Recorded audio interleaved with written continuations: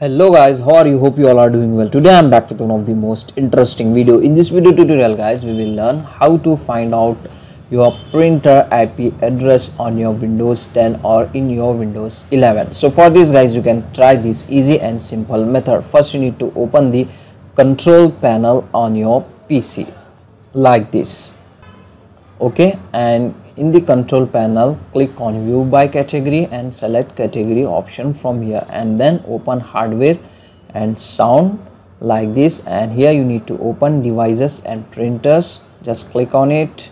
And here guys you can get your all printer installed on your pc from here you need to select your printer and right click on your printer which you want to find out that printer ip address and go to properties it will open new window like this and here you can get the tab web services and here at the end you can get your printer ip address as you can see guys okay? So from here you can easily able to find out your printer ip address.